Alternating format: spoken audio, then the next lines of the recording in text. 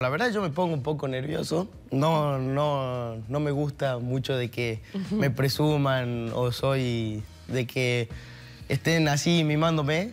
Pero bueno, viene bien para todo y, sirve también para, para nuestro deporte que bueno, están tan, acá en Argentina no es tan conocido y, y bueno, estas cosas no nos suma. Esa es quizás la responsabilidad que te ha llegado, ¿no? Porque eh, además de, los resultados y todo lo que vos buscas a nivel individual, eh, tu deporte requiere otra promoción. No es lo mismo que el futbolista, ¿no? Que sabe que llega y ya todas las cámaras van eh, derecho. Tu deporte también te ha trasladado esa responsabilidad de ser casi como un promotor, en el norte sobre todo. claro. Ahora sí estoy más metido también con el tema de las redes para poder tener más gente, más apoyo y bueno, que, bueno, si se puede dar sponsor o se puede dar más ayuda o, otras cosas también.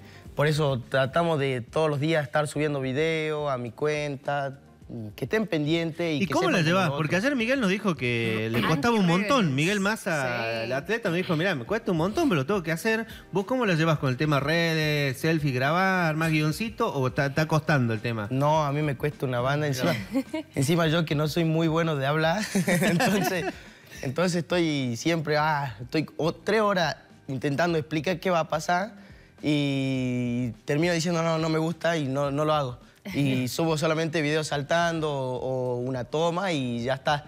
Pero, pero bueno, tengo que comenzar a, mostrar más, a soltarme, a, Yo me siento incómodo cuando estoy adelante del celular, no sé por qué, me, siento como que incómodo y me, me trabo.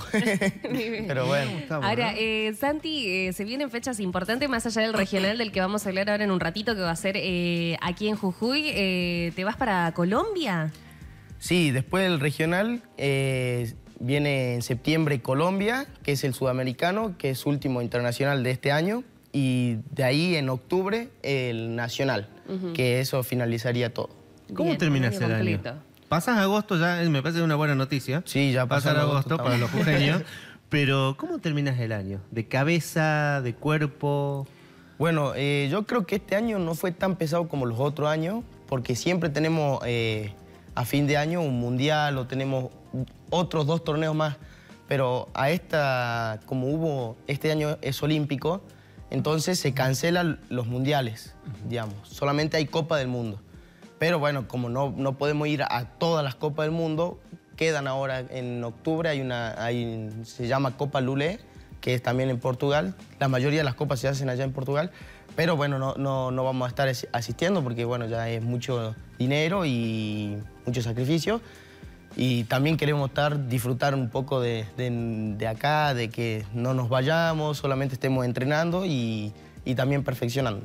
Ahora, ¿qué cuesta más, eh, yendo a, esto que recién hacías mención, el tema del dinero? ¿Qué cuesta más? ¿Toda la parte del entrenamiento, de llegar bien a una fecha como ser una Copa del Mundo y demás? ¿O la parte económica de poder juntar la plata necesaria para este tipo de viajes que, como vos decís, ¿no? Eh, Portugal, sabemos que es hay que cruzar el charco, hay que tener, ¿no? Eh, un par de, pesos encima. Sí. la verdad, el tema más que nada es el económico. Por suerte, en julio, que nos fuimos a Portugal, tuvimos mucho apoyo, mucho...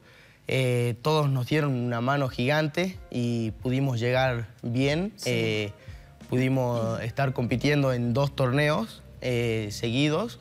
Y bueno, cuando se da, se da y a disfrutar. Y, pero lo importante para nosotros es saber que podemos estar ahí o saber que clasificamos. Pero bueno, hay otros motivos que, bueno, te da la vida y no, no, si no se da, no se da.